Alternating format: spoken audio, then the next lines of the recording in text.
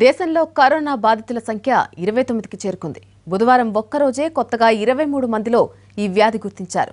మరికొంతమంది అనుమానితులకు పరీక్షలు నిర్వహిస్తున్నారు. ఈ నేపథ్యంలో కేంద్ర ప్రభుత్వం హైలైట్ ప్రకటించింది. రాష్ట్రాలకు ప్రత్యేక హెచ్చరికలు జారీ చేసింది.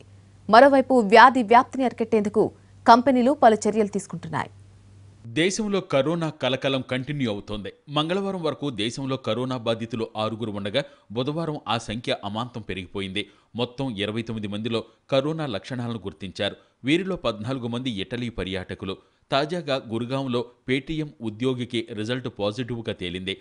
ఇటీవలే ఆ ఉద్యోగి ఇటలీ నుంచి వచ్చినట్లు తెలిసిందే. దీంతో పేటీఎం కార్యాలయం ఉద్యోగులకు రెండు రోజులు సెలవు ప్రకటించింది. ఇళ్ళ నుంచే పనిచేయాలని సూచించింది. కరోనా వ్యాప్తిపై ఆందోళన చెందాల్సిన అవసరం లేదని కేంద్ర ఆరోగ్య శాఖ మంత్రి హర్షవర్ధన్ చెప్పారు అన్ని విమానాశ్రయాల్లో తనిఖీలు ముమ్మరం చేసినట్లు చెప్పారు దేశవ్యాప్తంగా మరిన్ని ఐసోలేషన్ వార్డులు ఏర్పాటు చేస్తున్నామన్న ఆయన ల్యాబ్ల సంఖ్య కూడా పెంచుతున్నామన్నారు ఇరాన్లో కూడా ల్యాబ్ ఏర్పాటు చేసి అక్కడే పరీక్షలు చేసేందుకు ప్రయత్నిస్తున్నామన్నారు इम्प्रूवमेंट की गुंजाइश थी वो सारा कुछ वो करके आए हैं और ये सारी बातें दिल्ली में अभी हमने आज दिल्ली के अधिकारियों से जो खासकर अभी कोई भी केस आता है तो अब कम्युनिटी के अंदर उसको आगे स्प्रेड ना हो, उसको कंटेन करने के लिए जो क्लस्टर अप्रोच होती है, जिसमें एक, तीन किलोमीटर के दायरे के अंदर कोशिश की जाती है कि एक एक घर के अंदर हम जाकर सबसे संपर्क करें। जैसे अभी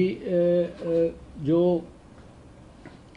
कल दो केसेस दिल्ली और तेलंगाना के अंदर रिपोर्ट हुए थे వైరస్ ప్రభావం అధికంగా ఉండడంతో రాష్ట్రాలు అప్రమత్తంగా ఉండాలని కేంద్ర మానవ వనరుల శాఖ సూచించింది ఈ మేరకు అన్ని రాష్ట్రాల ప్రభుత్వ కార్యదర్శులకు లేఖలు రాసింది పాఠశాలలో తగిన జాగ్రత్తలు తీసుకోవాలని విద్యార్థులకు అవగాహన కార్యక్రమాలు నిర్వహించాలని కోరింది ఆరోగ్యం సరిగా లేని పిల్లలను స్కూలుకు రాకుండా చూడాలని సూచించింది కరోనా వైరస్ నేపథ్యంలో హోలీ వేడుకలను రద్దు చేసిందే రాష్ట్రపతి భవన్. అప్రమత్తంగా ఉండడంతో పాటు భద్రతా చర్యలు తీసుకున్నప్పుడే కరోనా వ్యాప్తిని అడ్డుకోవచ్చని రాష్ట్రపతి తెలిపారు. ప్రధాని మోడీ కూడా హోలీ వేడుకలను రద్దు చేసుకున్నారు. కరోనాను ఎమర్జెన్సీగా పరిగణించాలని ఢిల్లీ సీఎం అరవింద్ కేజ్రీవాల్ డిమాండ్ చేశారు. కరోనాను ఎదుర్కొనేందుకు ఢిల్లీ ప్రభుత్వం సిద్ధంగా ఉందన్నారు. కరోనా వ్యాప్తి చెందకుండా విప్రో కీలక నిర్ణయాలు తీసుకుంది. తమ ఉద్యోగులు చైనా హాంకాంగ్ మకావ్ లాంటి దేశాలకు వెళ్ళకుండా నిషేధం విధించింది. అంతేకాక సింగపూర్ దక్షిణ కొరియా జపాన్ ఇటలీలకు కూడా వెళ్ళొద్దని సూచించింది. కరోనా ఎఫెక్ట్ విమానయాన రంగంపై తీవ్రంగా ఉంటోంది. పలువురు ప్రయాణాలను రద్దు చేసుకుంటున్నారు. మరికొందరు వాయిదా వేసుకుంటున్నారు. ఈ నేపథ్యంలో ప్రయాణికులకు ఉచితంగా రీబుకింగ్ సదుపాయాన్ని కల్పిస్తున్నట్లు పలు విమానయాన సంస్థలు ప్రకటించాయి. బుకింగ్స్ రద్దు చేసుకున్నా మార్పు చేసుకున్న ఫీజులను రద్దు చేశాయి.